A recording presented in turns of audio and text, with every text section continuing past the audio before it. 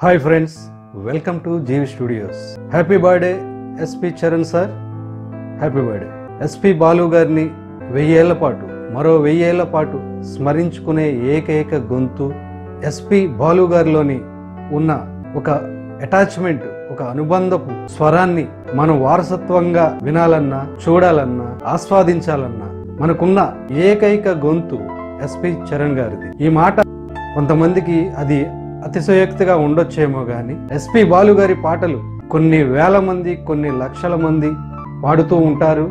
ఆయన్ని ఎస్పి బాలు గారిని అనుకరిస్తూ ఉంటారు. ఎస్పి బాలు గారిలా పాడేవారు లేరా?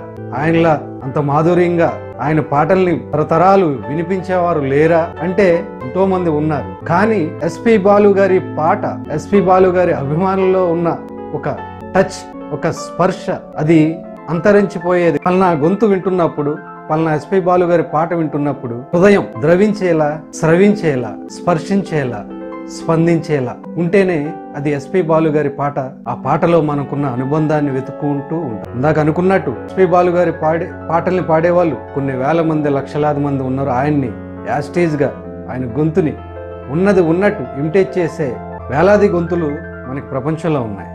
కానీ ఆయనలో ఉన్న ఒక మాధుర్యం ఆయనలో ఉన్న ఆ గొంతులో ఉన్న ఒక అటాచ్మెంట్ ఆయనకి ఒక శ్రోతకి ఉన్న అటాచ్మెంట్ని మళ్ళా మనం స్పర్శించాలన్నా దక్కించుకోవాలన్నా కేవలం ఒకే ఒక సింగర్ ఎస్పి చరణ్ మాత్రమే. ఎస్పి చరణ్ పాడిన పాటలు మామూలు పాటలు. ఎస్పి బాలు గారు ఎలా అయితే ఆయన పాటలు పది కాలాల పాటు ఒళ్ళు వేసుకుంటున్నామో ఎస్పి చరణ్ పాడిన పాటలు కూడా అలాంటివి. ఎస్పి బాలు గారి వారసత్వాన్ని పుణికిపుచ్చుకున్న ఆయన వారసత్వాన్ని కొనసాగించే ప్రయత్నమో లేదంటే అనువంశికంగా ఆయనకు అబ్బిన సంగీత పాండిత్యమో కానీ ఎస్పి చరణ్ చాలా చిన్న వయసులోనే వెండి తెరకు పరిచయం అయ్యారు. ఆ పరిచయమైన ఆ ప్రవేశంలోనే ఎస్పి గారిలో ఉన్న దాటి ఎస్పి గారిలో ఉన్న మాధుర్యం ఎస్పి గారిలో ఉన్న త్రో వాయిస్ త్రో ఎస్పి గారిలో ఉన్న సాహిత్య పటిమ ఎస్పి గారిలో ఉన్న అటాచ్మెంట్ ఎస్పి బాలు గారి పాట ఇంకా ఇంకా పది కాలాల పాటు నిలవాలంటే ఎస్పి చరణ్ ఆయన అబ్బాయి ఎస్పి బాలు గారి అబ్బాయిని ఎంత వినియోగించుకుంటే అంత ఎస్పి బాలు గారు మన మధ్య ఉన్నట్టు.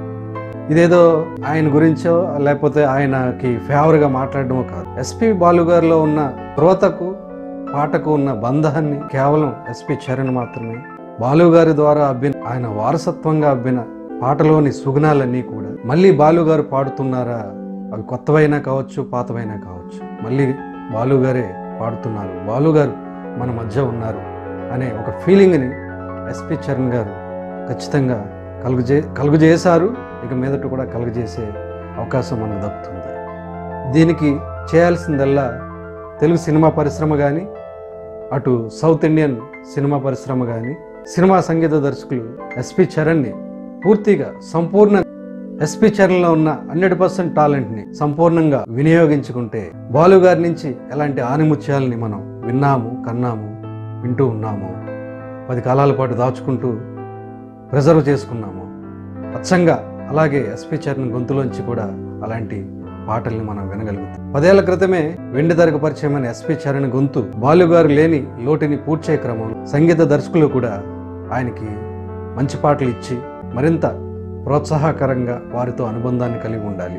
ఎస్పి చరణ్ గారిని కూడా గొప్ప గొప్ప సంగీత దర్శకులు ఎంఎం కీరవాణి కావచ్చు దేవిశ్రీ ప్రసాద్ ఆర్పి పట్నాయక్ మణి శర్మ ఇలా ఎంతోమంది అగ్ర సంగీత దర్శకులు కోటి గారు ఇలా అందరూ కూడా అగ్రశ్రేణి సంగీత దర్శకులు అందరూ కూడా ఎస్పి చరణ్ గారిని చరణ్ గారితో పాటలు పాడించారు.